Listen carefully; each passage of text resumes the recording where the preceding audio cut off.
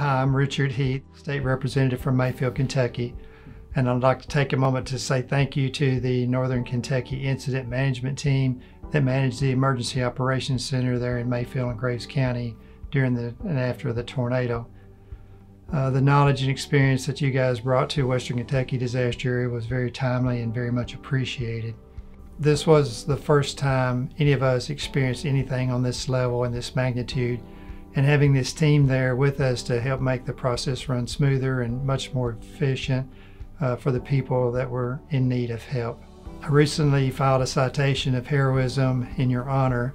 I appreciate uh, being asked to join in this presentation uh, of thanks to the men and women who dedicated their time and effort to our community.